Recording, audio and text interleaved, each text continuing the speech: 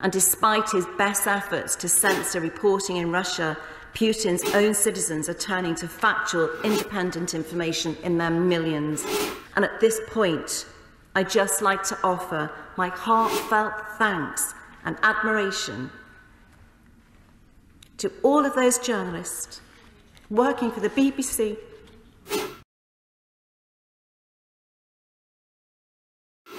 Can I add my support to all the journalists who have travelled from the UK and around the world to report? I too commend the, my right honourable friend for her statement. And can I join the Secretary of State in praising our BBC? I want to praise the Secretary of State for what she said about our broadcast journalists. I warmly commend the Minister for the statement that she made earlier and actually on, on the tears that she was pouring out over um, the journalists who are um, Clive Myrie and people like that who are doing just an absolutely fabulous job.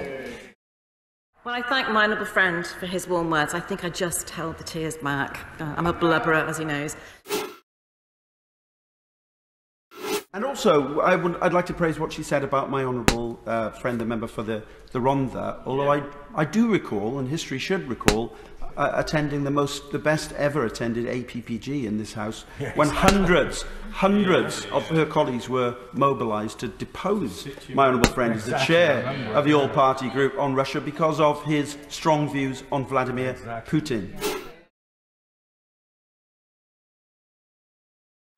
So on his first point, I don't think that uh, my colleagues um, hit the APPG just because of my honourable friend's views. They did. Well, if I could just finish the sentence, if I could just finish the sentence. I don't think they hit on the APPG because of my honourable friend's views on Putin, but because, because we, they wanted a different chair. But, and I was not one of them.